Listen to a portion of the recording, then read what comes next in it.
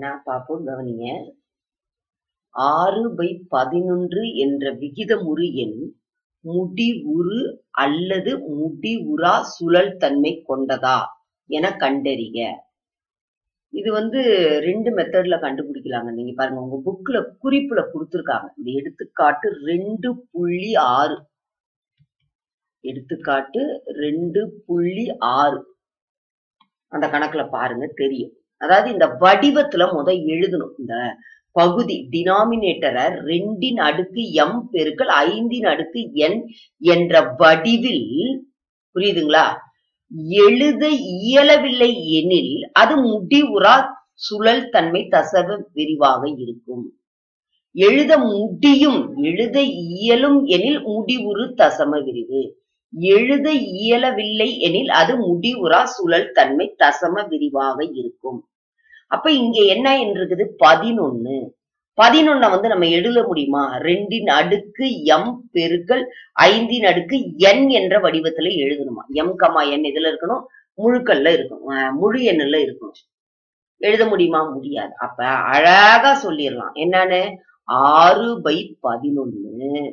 என்னது? முடி உரா சுழல் தன்மை கொண்டது.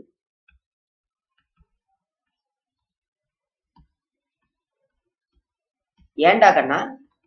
என்ன சொன்னோம்? பி பை இரண்டின் அடுக்கு எம் பெருக்கல் ஐந்தின் அடுக்கு என் என்ற வடிவில் எழுத இயலவில்லை.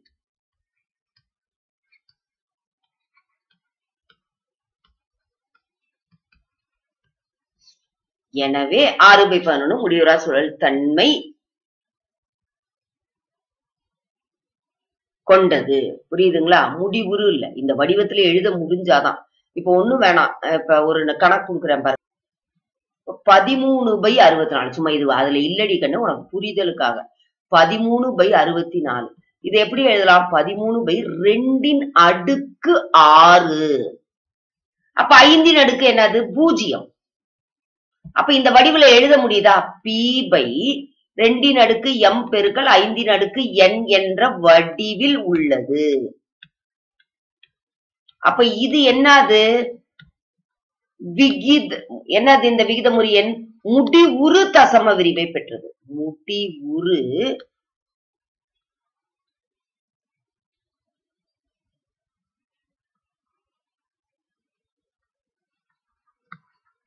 பிரிவை பெற்றது. புரியுதா? பப்பு கண்ணா கவனிங்க அடுத்த கணக்கு பதினாறாவது கணக்கு. இதுல புரிஞ்சுதா? இது முடிவுறா சுழல் தன்மை கொண்டது. இதுல இன்னொரு மெத்தடு இருக்குடி கண்ணு. அந்த மெத்தடை பார்த்துட்டு பதினாறாவது கணக்கு பார்க்கலாமா? இது என்ன பண்ணலாம்? இப்ப இந்த மெத்தட்ல டக்குன்னு ஒன் மார்க்ல கேட்டாங்கன்னா இப்படி செய்யலாம். இல்ல மிஸ் எனக்கு இது கொஞ்சம் கண்டுபிடிக்கிறது கஷ்டமா இருக்குன்னா பகுத்து பாருங்க. இது என்ன பண்ணுங்க? பகுத்தல் முறை. இது மெத்தர்டு டூ இது என்னடி கேட்டா மெத்தர்டு டூ ஆற எதால வகுக்கணும்? பதினொன்னால வகுக்கணும். ஆறு பதினொன்னால வகுப்படுமா வகுப்படாது. அப்ப என்ன பண்ணும்? பூஜ்ஜியம் போட்டு இங்க என்ன பண்ணும்? வகுப்படாது. அதனால புள்ளி வச்சு பூஜ்ஜியம் சேர்க்கணும். இப்ப அறுபது. எத்தனை பதினொன்னு இருக்குது? அஞ்சு பதினொன்னு ஐம்பத்தி அஞ்சு.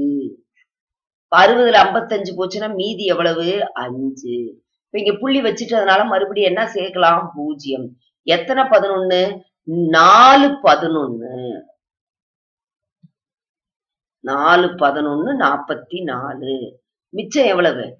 அறுபது.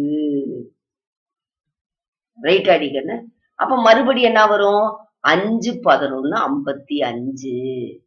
மறுபடி என்ன வரும் இங்க? அஞ்சு. பாருங்க அதே எண் வருதா? அப்ப என்ன வரும்? நாலு பதினொன்னு நாற்பத்தி நாலு அப்ப இது போய்கிட்டே இருக்கு.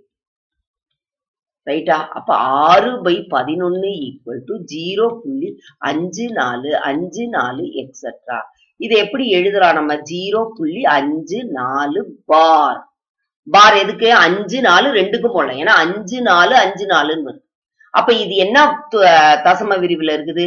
முடி உரா சுழல் தன்மை தசம விரிவு.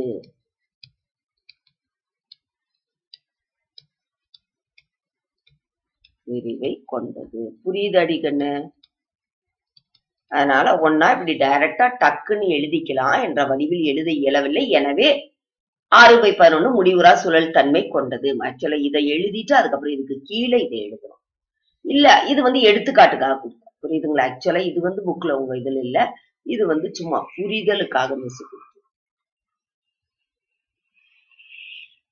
சரியா? இது மெத்தடு டூ இப்படி வகுத்தும் போடலாம். வகுத்து போட்டு சில குழந்தைங்களுக்கு இப்படி வந்தாதான் ஒரு திருப்தியா இருக்கிற மாதிரி இருக்கும். அதனால இந்த முறையிலயும் செய்யலாம். டூ மார்க்னும் போது. ஒன் மார்க்கு கொஞ்சம் இந்த மெத்தடை யூஸ் பண்ணா நல்லா இருக்கும். கனி எது வேணாலும் உன்னுடைய வசதிக்கு நீங்க யூஸ் பண்ணுங்க. சரியா? பதினாறாவது கணக்கிடாதண்ணா ஏ மற்றும் பிஐ ஒன்னு பை ரெண்டு கமா ஒன்பது பை ரெண்டு என்ற எண்கள் எண்கோட்டில் குறிக்கின்றன. அப்ப முத ஒரு இது ரைட்டுங்களா? இங்க ஏ ஏ என்ற புள்ளி. இது என்னது? ஒன்னு பை ரெண்டு. ரைட்டுங்களா? அப்போ ஒன்பது பை ரெண்டு எங்க வரணும்? இங்க குறிச்சுக்கலாம் கடைசியா. பி. ஒன்பது பை ரெண்டு. ரைட் அடிக்கன்னு ஏன்னா நம்ம இப்படிதான் போகணும். நம்ம போகும்போது. அதனால மாத்தி குறிச்சிடாதீங்க ஒன்னு பை ரெண்டு ஒன்பது பை ரெண்டு என்ற எண்கள் எண்கோட்டில் குறிக்கின்றன எல் எம் என் என்ற புள்ளிகள் ஏ மற்றும் பிக்கு இடையில்.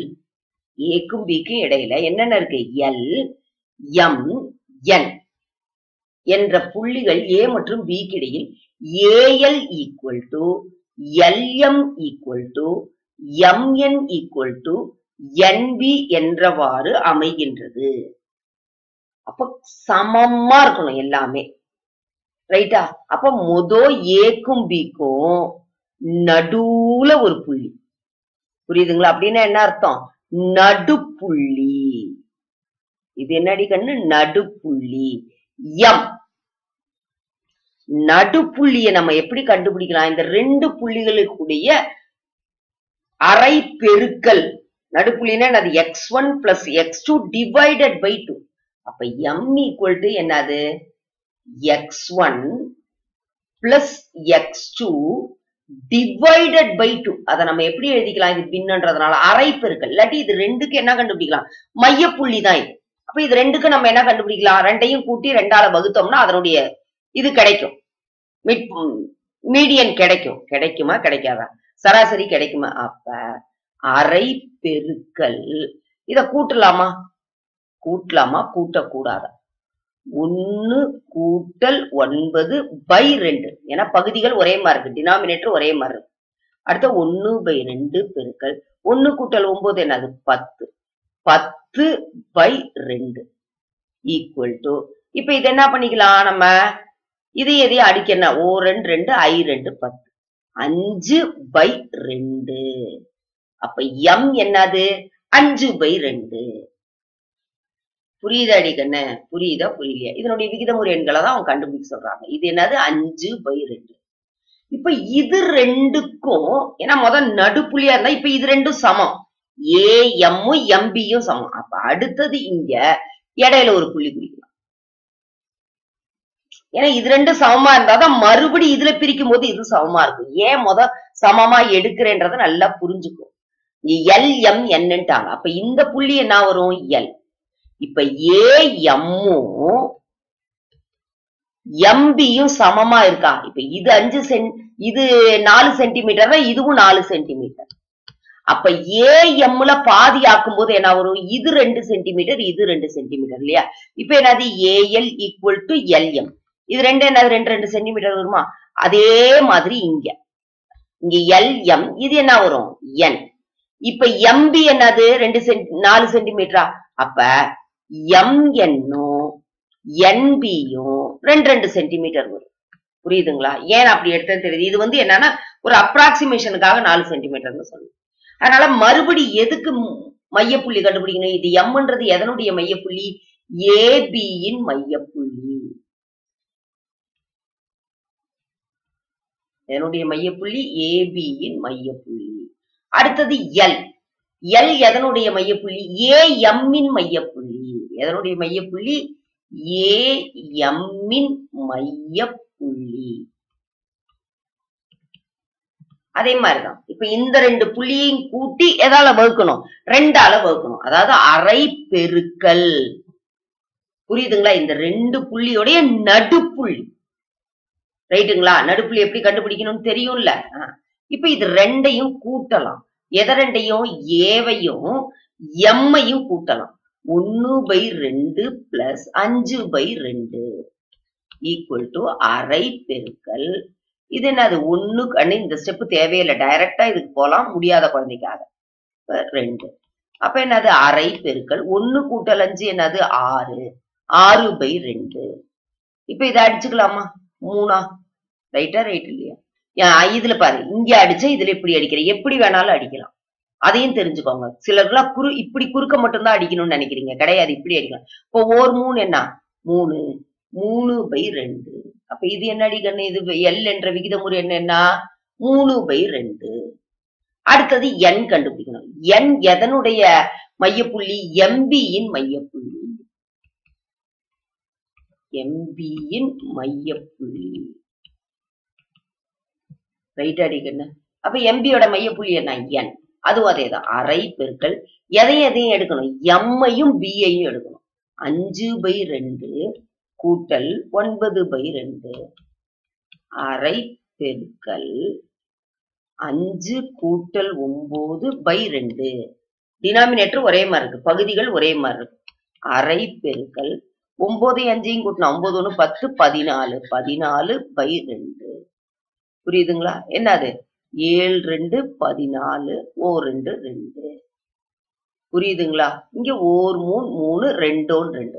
ஓர் ஏழு ஏழு ரெண்டோன் ரெண்டு. அப்ப ஏழு பை ரெண்டு. இது என்ன அடிக்கண்ணு ஏழு பை ரெண்டு. புரியுது அடிக்கண்ணு அதனால இது கொஞ்சம் முதோ ஏ பிக்கு நடுப்புள்ளி. இத சரிபாதியா பிரிச்சுக்கணும். இதை என்ன பண்ணும் சரிபாதியா பிரிக்கும் போது தான் இங்க எம் வந்து நடுப்பு. அப்ப இது சரி பாதி அப்படின்னும் போது இதுல மையப்புள்ளியா எடுக்கும்போது இது ரெண்டும் பாதியா வருமா? அப்ப இதுவும் இதுவும் சமம் இல்லையா? நல்லா புரிஞ்சுக்கோங்க. இப்ப இதுவும் ரைட்டுங்களா?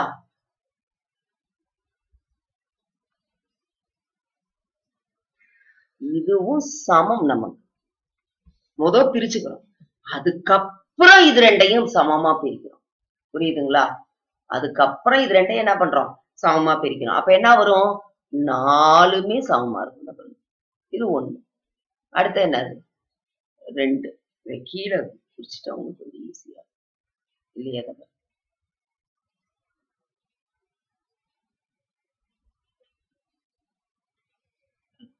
இப்ப இந்த நாலு துண்டு எப்படி இருக்கும்? சமமா இருக்கும். இந்த நாலு துண்டு எப்படி இருக்கும்? சமமா இருக்கும்.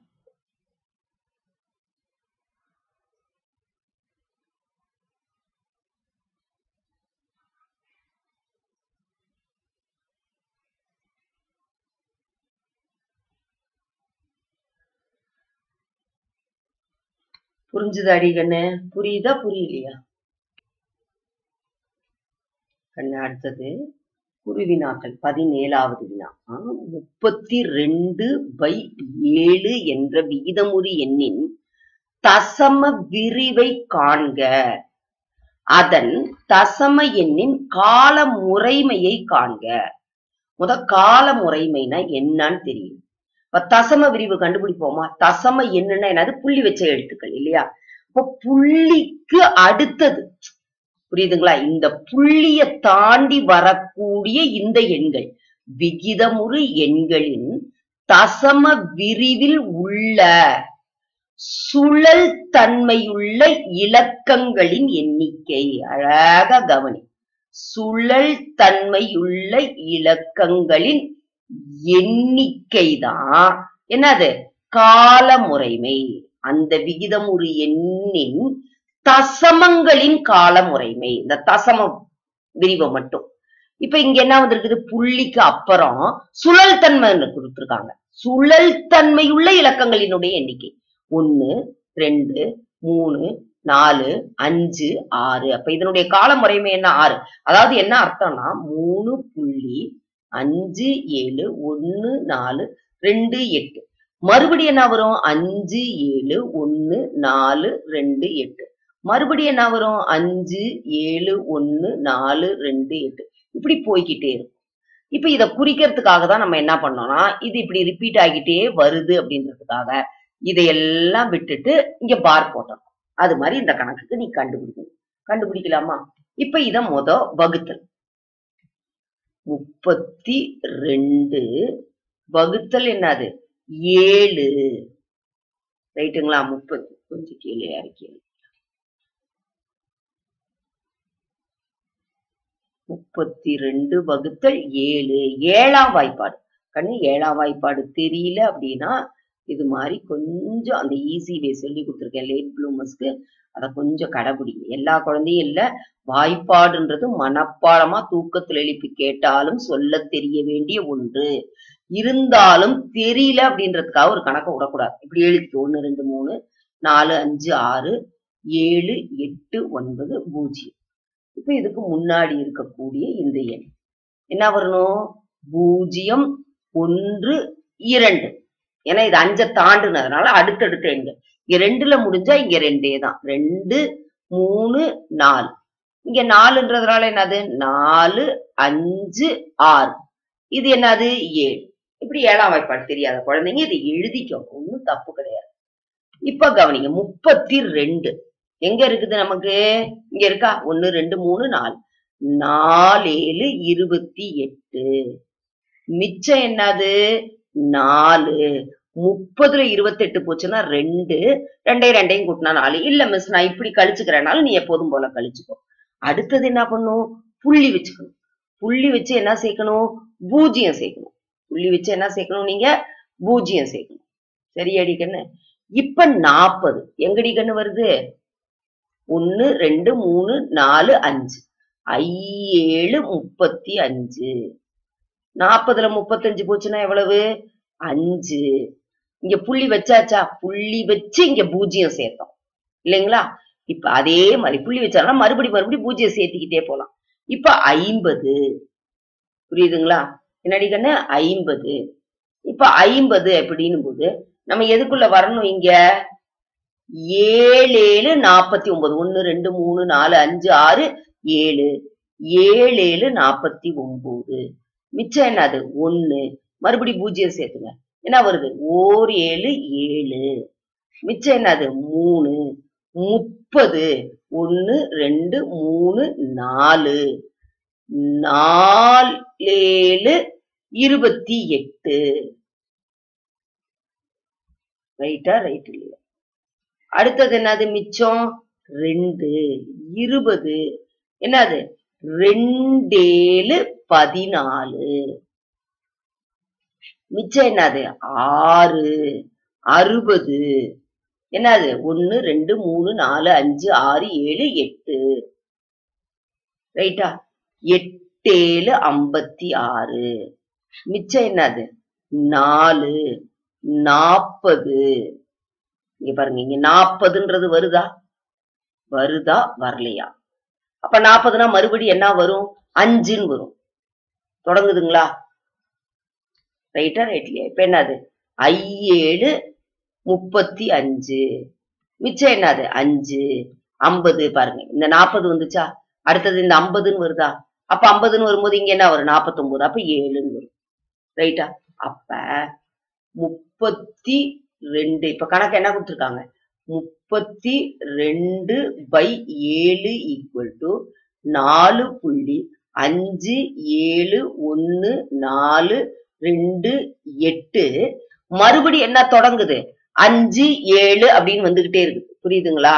அஞ்சு ஏழு ஒன்னு நாலு ரெண்டு எட்டு புள்ளி எக்ஸட்ரா போகும் அப்ப இது என்னது? நாலு புள்ளி அஞ்சு ஏழு ஒன்னு நாலு ரெண்டு எட்டு பார். இங்க நம்ம சொன்னோமா என்னது? சுழல் தன்மையுள்ள இலக்கங்களின் எண்ணிக்கை காலமுறைமைனும் அப்ப எண்ணுங்க புரியுதுங்களா? என்ன கேட்டிருக்காங்க அவங்க? காலமுறைமை தான் கேட்டிருக்காங்க. அப்ப என்ன எழுதணும் இங்க? கால இதன் காலமுறைமை இந்த எண்ணினுடைய காலமுறைமை ஈக்குவல் டு ஒன்னு ரெண்டு மூணு நாலு அஞ்சு ஆறு. சரியாடி கண்ணு. ரைட்டா ரைட்லியா கால முறையுமே ஈக்குவல் டு ஆறு. புரிஞ்சுதா புரியலையா?